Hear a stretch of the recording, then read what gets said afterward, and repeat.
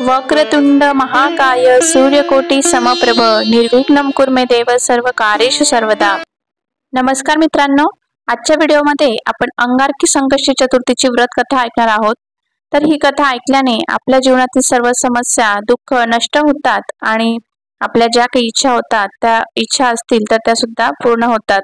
तर चला ऐकूया आपण अंगारकी संकष्टी चतुर्थीची व्रत कथा गणेश भक्त आणि वेदवेते अग्निहोत्री ऋषी भरद्वाज अवंती नगरीत राहत होते. क्षिप्रा नदीवर ते एकदा स्नानाला गेले असता एक अप्सरा जलक्रीडा करत होती. तिला पाहून भारद्वाजांचे तेज द्रवीभूत झाले होते. ते पृथ्वीने धारण केले आणि त्यानंतर पृथ्वीला जो पुत्र झाला तो जास्वंदीच्या फुलासारखा लाल होता.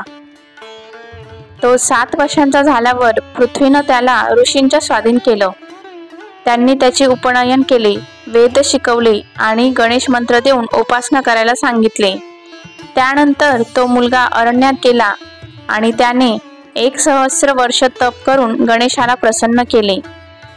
गणपती बाप्पा त्याला प्रसन्न झाले व त्यांनी मुलाला दर्शन देऊन इष्टवर मागण्यास सांगितले. तो मुलगा म्हणाला की मला स्वर्गात राहून अमृत प्राशन करावायचे आहे. माझे नाव त्रैलोक्यात विख्यात व्हावे. आज जी चतुर्थी आहे ती सर्वांना कल्याणकारी हो.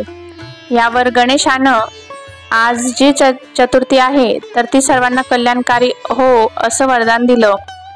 तुझं नाव भूमिपुत्र म्हणून भौम अकारक सारखा लाल आहे म्हणून अंगारक व शुभ करण्याची शक्ती असेल म्हणून मंगल असेही प्रसिद्ध होईल. आणि या चतुर्थीला अंगारकी म्हणतील. व हे व्रत करणाऱ्यांना ऋणमुक्त करणारी व पुण्यप्रत ठरेल. तुला आकाशात ग्रहांमध्ये स्थान मिळेल व तू अमृत पान करशील असा वर त्याला गणपती बाप्पाने दिला. तोच व आणि तो दिवस किंवा तो वार मंगळवार होता आणि गणेशाच्या वरदानामुळे अंगारकी चतुर्थीला अत्यंत महत्त्व प्राप्त झाले. गणपती बाप्पाने आपल्या परमभक्ताला हे वरदान दिले की यापुढे भविष्यात येणाऱ्या मंगळवारची संकष्टी चतुर्थी ही तुझ्याच अर्थात अंगारकी ह्या नावाने ओळखली जाऊन संबंधित उपासकास एकवीस संकष्टी केल्याची फलप्राप्ती या चतुर्थीमुळे मिळेल. आणि तुझ्या या सहस्र वर्षाच्या तपश्चरेचे पुण्य युगानुयुगे त्यांच्याही वाटेला जाऊन त्यांच्या इच्छित मनोकामना पूर्ण होतील आणि ते ऋणमुक्त होतील. ज्या गणेश भक्तांना प्रतिमासी येणाऱ्या संकष्टी चतुर्थीचे व्रत करणे जमत नसल्यास अशा लोकांनी अंगारखी मात्र न विसरता व न चुकता आवर्जून करावी की ज्यामुळे एकवीस संकष्टी केल्याची फलश्रुती नक्कीच लाभणार असे वेद वचनही दिले गेले आहे. या व्रताच्या दिवशी सकाळपासून उपोषण करावे. सायंकाळी पुनः स्नान करून चंद्रोदय झाल्यावर गणेशाची षोडशोपचार पूजन करावे. पूजेनंतर आरती म्हणून मंत्रपुष्प वाहून तुपात तळलेला एकवीस मोदकांचा नैवेद्य गणपती बाप्पाला दाखवावा.